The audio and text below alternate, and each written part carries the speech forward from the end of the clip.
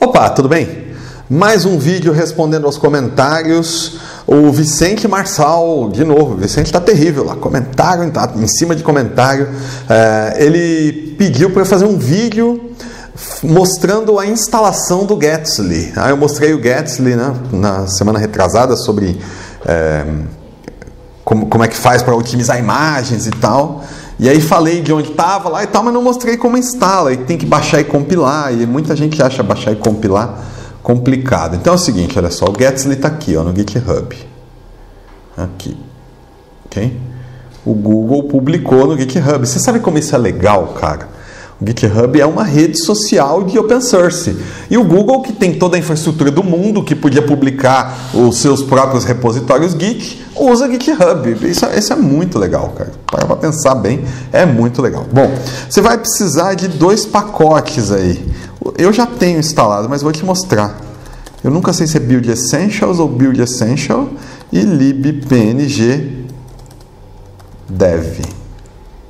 É Build Essential assim, ok? Se você estiver usando o Ubuntu, você vai precisar desses dois pacotes, Build Essential, libpng dev. Se você estiver usando outra, outro Linux aí, outra distribuição, você vai precisar dos pacotes relacionados na sua distribuição. Você vai precisar fazer uma pesquisinha aí para descobrir quais são, ok? Então aqui, olha só, inclusive saiu a atualização do libpng dev, ele está baixando a atualização. Bom que eu rodei, vamos compilar com o negócio né, atualizado aqui, tá? Mas são esses dois que você vai precisar. Você pode rodar esse comando sem medo, mesmo que você já tenha. Se você tiver, ele não vai fazer nada, não vai sobrescrever, não dá problema, nada disso e tal. Em seguida, você precisa clonar aqui o repositório do GitHub. Então, você pega esse endereço, copia o endereço e vem aqui numa pasta qualquer. Vou pôr no desktop mesmo aqui. E faz assim e ele vai trazer de lá do GitHub o código do Google e ele trouxe o código, está aqui dentro dessa pasta Gatsly. Aí você entra na pasta Gatsly, aqui tem as instruções de instalação, inclusive, olha só. Ah, inclusive aqui tem, ó, no Fedora, no Arc, no Alpine, que pacote você tem que, que instalar para poder. Né? E aí, ao entrar na pasta, make, só isso. Um isso aqui vai compilar. Tá? Leva um tempinho para compilar aqui, olha aí. O processador vai topar. Né? Então, talvez, como eu estou gravando na mesma máquina que eu estou compilando, é, talvez o vídeo, o screencast aqui deu uma, uma rateada, não tem problema, ok? Não estou fazendo nada de emocionante, nada que você esteja perdendo. Vamos aguardar a compilação. Muito bom. Vamos continuar aguardando a compilação. Aí, foi, pronto, está tá compilado. Então isso aqui gerou, olha só, tem uma pasta bin, dentro da pasta bin eu tenho um release e dentro de release eu tenho Gatsly. Tá lá, ok? Mas eu não quero ter que rodar dali de dentro, né? Então o que, que eu vou fazer? Você vai ver aí no seu sistema onde é que você pode pôr. Você vai fazer assim, olha só, echo path. Tá? Então esses aqui são os caminhos no meu sistema, onde o, o terminal procura por executáveis. Né? Então aqui estão os executáveis no meu sistema. Eles podem estar dentro dessa pasta aqui, olha só. São executáveis as gemas do Ruby, ok? Também nessa, nessa outra, que também são gemas do Ruby, também nessa. Ou nessa pasta aqui, que são executáveis do Heroku. Ou nessa pasta aqui, olha que legal, barra home, barra else, barra bin, tá?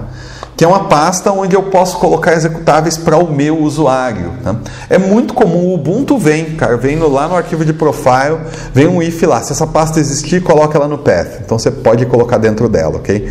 Então isso aí resolveria o problema. Agora eu posso querer disponibilizar esse comando para outros usuários da mesma máquina. Então dá uma olhada nessa outra pasta aqui, olha só, barra USR, barra local, barra bin.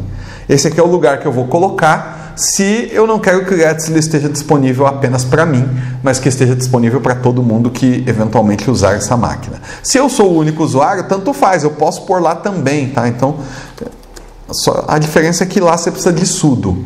Você precisa ser super usuário para disponibilizar para todo mundo, não, diferente da sua pasta local. Então, sudo copy bin release Gatsly para o SR local bin.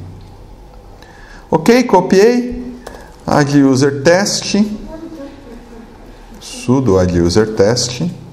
Muito bom. Nova senha, vamos botar uma senha qualquer aqui. Muito bem, está correto sim. sudo su test. Agora eu sou o usuário teste, estou numa pasta qualquer aqui e posso fazer Getsly. Está lá, está disponível o comando para qualquer usuário nessa máquina, ok? Então tá aí a dica, você rodou make aqui dentro, se tiver os pacotes certos, o negócio vai compilar, vai gerar o executável naquela pasta release lá dentro de bin, e aí você copia esse executável para dentro do seu path, ele vai virar um comando do sistema, você pode rodar de qualquer lugar, beleza? Ah, bom, vou apagar o usuário teste, não preciso mais dele, muito bom. Apagar a pasta que foi criada para ele, fazer a faxininha do sistema, né? E a, o source do Gatsby também não quero ter aqui, não me interessa. Pronto, tá aí. Meu sistema tá limpo, eu só tenho agora o executável do Gatsby na pasta, na pasta certa, que eu posso rodar o comando de qualquer lugar e ele vai rodar o Gatsby. É assim que faz. É, espero ter respondido a dica aí, tá? O que eu fiz é bastante simples.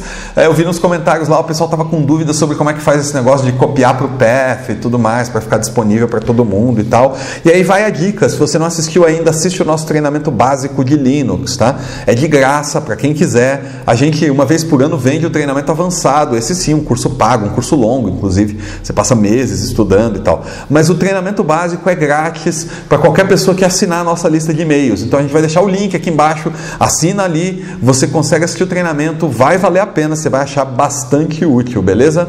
Valeu!